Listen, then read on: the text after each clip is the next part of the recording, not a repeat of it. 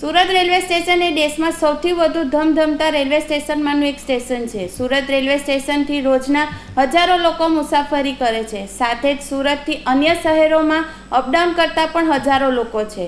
ત્યારે તેઓ Surat railway station પર ગાડી પાર્ક કરીને મુસાફરી કરે છે. ત્યારે સુરત રેલવે સ્ટેશનના લો લેવલ પાર્કિંગમાં કોન્ટ્રાક્ટર મુસાફરો પાસેથી નક્કી કરેલા દર કરતાં વધુ રૂપિયા ખંખેરતા હોવાની વારંવાર ફરિયાદ ઉઠી હતી.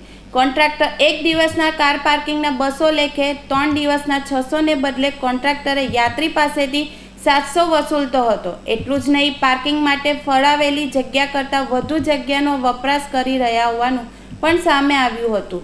સુરત રેલવે સ્ટેશન પર પાર્કિંગના કોન્ટ્રાક્ટરની દાદાગીરીની સંખ્યાબંધ ફરિયાદો ઉઠી હતી. પાર્કિંગ કોન્ટ્રાક્ટરના માણસો મુસાફરો પાસેથી નક્કી કરેલા દર કરતાં વધુ રૂપિયા ખંખેરતા હતા, જેને લઈને પશ્ચિમ રેલવેના વિજિલન્સના મુખ્ય નિરીક્ષક હિમાંશુ કાપડિયા અને અજય બડહુજરે સ્થળ પર રેડ પાડી હતી અને તપાસ કરતા લો લેવલના પાર્કિંગ કોન્ટ્રાક્ટરને નિયત કરતાં વધુ રૂપિયા ખંખેરતા રંગે હાથે ઝડપાઈ ગયો હતો.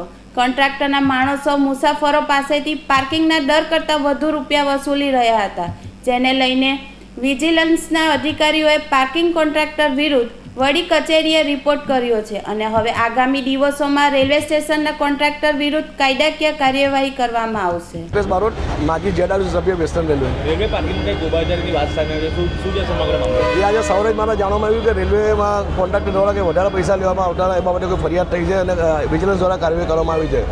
જે વાત સાચી હોય તો ચોક્કસપણે એની સામે કાર્યવાહી થવી જોઈએ. પરંતુ મને એવું જાણવા મળ્યું છે કે અગાઉના કોન્ટ્રાક્ટરને હાલના કોન્ટ્રાક્ટર સાથે કોઈ હોય, એટલે એના દ્વારા કોઈકના હાથો બનીને ફરિયાદ કરવામાં આવી છે. અને રહી વાત દૂધની તો રેલવે પાર્કિંગમાં ચાર્જ લગાવેલો છે કે ટુ વ્હીલરનો એક કલાકનો આટલો ચાર્જ ને ફોર વ્હીલરનો આટલો ચાર્જ?